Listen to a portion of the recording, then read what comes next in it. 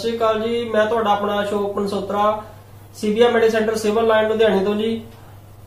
ਆਓ ਜੀ, ਅਸੀਂ ਗੱਲ ਕਰੀਏ ਅੱਜ ਮਿਸਟਰ ਗੁਰਬਖਸ਼ ਸਿੰਘ ਜੀ ਨਾਲ, ਜੋ ਕਿ ਅੰਮ੍ਰਿਤਸਰ ਤੋਂ ਆਏ ਨੇ ਤੇ ਦੁਬਈ ਦੇ ਵਿੱਚ ਆਪਣਾ ਬਿਜ਼ਨਸ ਕਰਦੇ ਨੇ ਤੇ ਇਹਨਾਂ ਨੂੰ ਹਾਰਟ ਦੀ ਪਰੇਸ਼ਾਨੀ ਹੈ ਤੇ ਇਹਨਾਂ ਨਾਲ ਅੱਜ ਗੱਲਬਾਤ ਕਰੀਏ ਵੀ ਇਹਨੇ ਕਿੱਥੋਂ ਕਿੱਥੋਂ ਇਲਾਜ ਕਰਾਇਆ ਤੇ ਸਾਡੇ ਸੈਂਟਰ ਬਾਰੇ ਇਹਨਾਂ ਨੂੰ ਕਿੱਦਾਂ ਪਤਾ ਚੱਲਿਆ? ਹਾਂਜੀ, ਸਤਿ ਸ੍ਰੀ ਅਕਾਲ ਜੀ। ਅੱਜ ਮੈਂ ਦੁਬਈ ਕੰਮ ਕਰਦਾ ਜੀ। ਤੇ ਉਥੇ ਮੈਂ ਇੱਕ ਵਾਰ ਪਹਿਲਾਂ 2008 ਚ ਮੇਰੇ ਸਟੰਟ ਪਏ ਸੀ ਤੇ ਹੁਣ ਮੈਂ, ਮੈਨੂੰ ਫਿਰ ਅੱਜ 2021 ਚ ਜਾਂ 20 ਦੇ ਐਂਡ ਦੇ ਨਾਲੋਂ ਅਹ ਤਕਲੀਫ ਹੋਈ ਤੇ ਫਿਰ ਮੈਂ ਉੱਥੇ ਚੈੱਕ ਕਰਾਇਆ ਤੇ ਉਹ ਮੈਨੂੰ ਕਹਿੰਦੇ ਜੀ ਬਾਈਪਾਸ ਹੋਣਾ ਤੇ ਬਾਈਪਾਸ ਮਤਲਬ ਜਿਸ ਤਰ੍ਹਾਂ ਇੱਥੇ ਚੀਰ ਕੇ ਕਹਿੰਦੇ ਆ ਜੀ, ਚੀਰ ਚੀਰ ਫਾੜ ਕਰਨੀ ਮੈਂ ਕਿਹਾ ਮੈਂ ਨਹੀਂ ਕਰਾਉਣੀ। ਤੇ ਫਿਰ ਉਹਨਾਂ ਮੈਨੂੰ ਉੱਥੇ ਛੁੱਟੀ ਦੇ ਦਿੱਤੀ।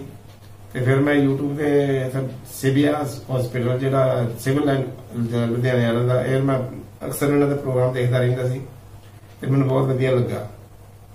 ਤੇ ਫਿਰ ਮੈਂ ਇਹਨਾਂ ਨਾਲ ਕੰਟੈਕਟ ਕੀਤਾ, ਡਾਕਟਰ ਸਾਹਿਬ ਨਾਲ ਗੱਲ ਕੀਤੀ, ਉਹਨਾਂ ਬੜਾ ਵਧੀਆ ਮੈਨੂੰ ਸਮਝਾਇਆ ਕਿ ਵੀ ਸਾਡੇ ਇੱਥੇ ਬਗੈਰ ਚੀਰ ਫਾੜ ਤੋਂ ਇਲਾਜ ਕੀਤਾ ਜਾਂਦਾ ਹੈ ECB ਥੈਰੇਪੀ ਦੇ ਨਾਲ।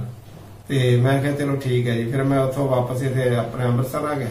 ਅੰਮ੍ਰਿਤਸਰ ਦਾ ਰਹਿਣ ਵਾਲਾ ਹਾਂ ਤੇ ਫਿਰ ਅੰਮ੍ਰਿਤਸਰ ਤੋਂ ਮੈਂ ਇਹਨਾਂ ਕੋਲ ਆ ਰਿਹਾ ਜੀ।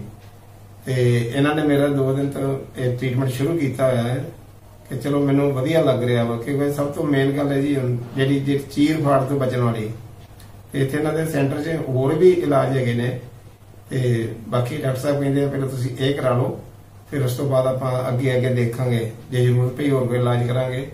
ਅਜੇ ਮੈਨੂੰ 2 ਦਿਨ ਹੋਏ ਇੱਥੇ ਆ ਰਿਹਾ ਨੂੰ ਤੇ ਮੇਰੀ ਉਹਨਾਂ ਦਵਾਈ ਘਟਾ ਵੀ ਦਿੱਤੀ ਹੈ ਕਿ ਇੰਨਾ ਫ਼ਰਕ ਮੈਨੂੰ ਤਾਂ ਮਹਿਸੂਸ ਹੋ ਰਿਹਾ ਇਹਦੇ ਤੇ ਬਾਕੀ ਸਟਾਫ ਸਾਰਾ ਵਧੀਆ ਵਾ ਬਹੁਤ ਵਧੀਆ ਵਾ। ਬਹੁਤ ਵਧੀਆ ਗੱਲਬਾਤ ਕਰਦੇ ਆ।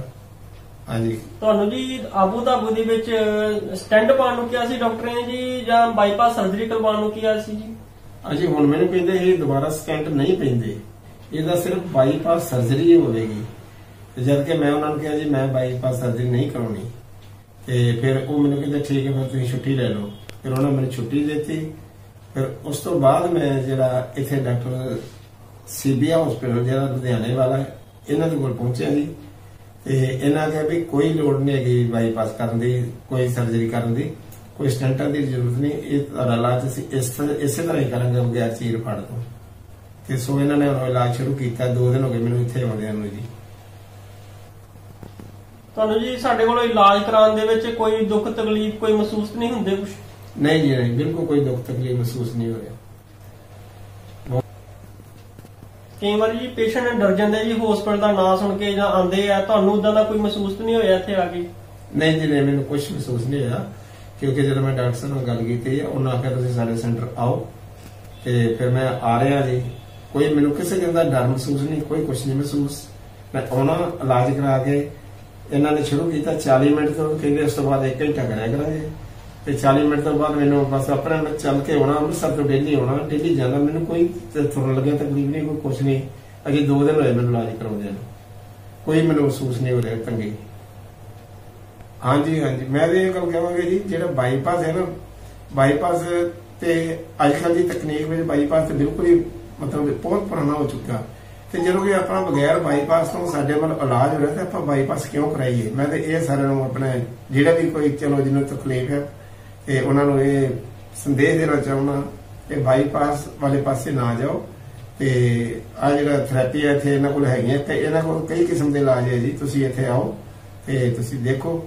ਤੇ ਤੁਹਾਡਾ ਆਪਣੇ ਆਪ ਦਿਲ ਕਰੇਗਾ ਕਿ ਅਸੀਂ ਇਹਨਾਂ ਕੋਲ ਇਲਾਜ ਕਰਾ ਲਈਏ।